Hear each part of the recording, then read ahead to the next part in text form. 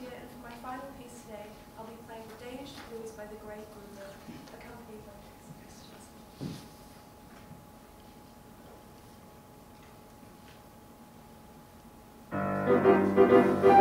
messages.